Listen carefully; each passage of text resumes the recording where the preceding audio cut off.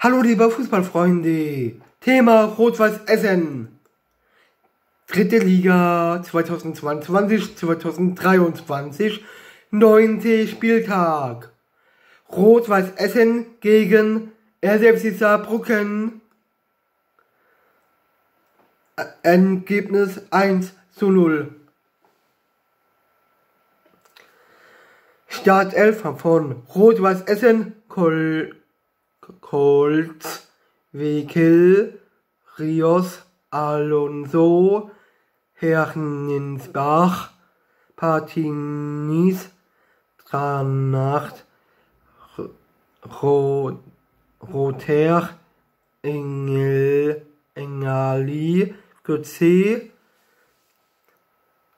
Griffier, Ecke, Enkelmann, Startelf von SFC Saarbrücken, Batz, Franz, Zilner, Ufareno, Grekischimer,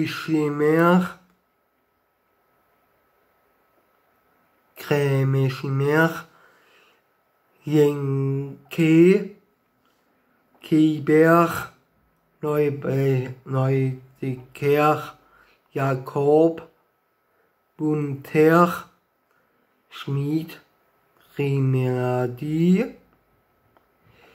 Das war's von Rot-Weiß Essen gegen RSFC Saarbrücken. Uhrzeit 18.15 Uhr.